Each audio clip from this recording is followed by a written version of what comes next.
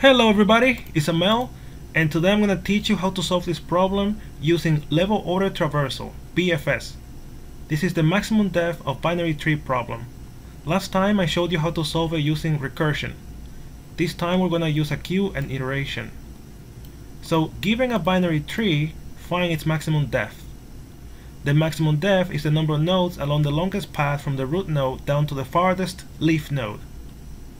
As you can see, in this case, 1, 2, 3. So the depth is 3, the maximum depth is 3.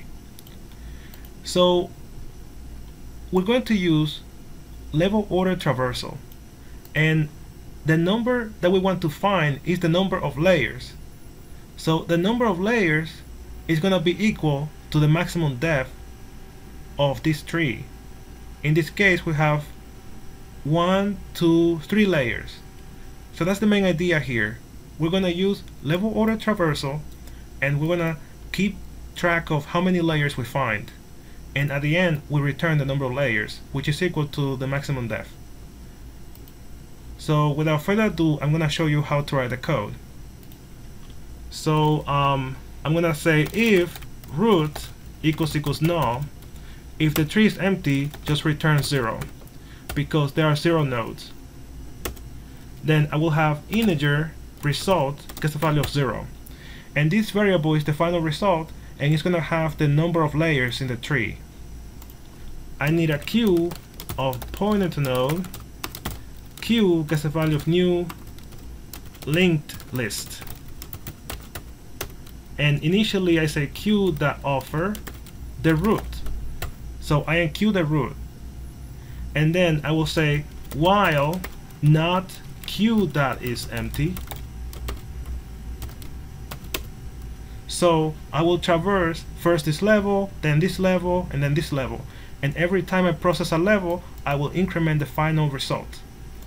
So, plus plus result. Because every time I process a level, I will increment this. Then, I will say for integer i gets the value of queue that size i is greater than 0 minus minus i.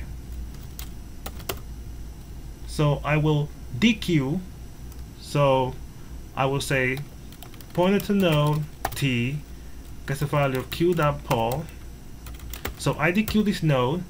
So I have this for loop to process this level or this level. So this for loop will process um, all the this level, the current level. And then I get this node and I just see if t dot left is not equal to null.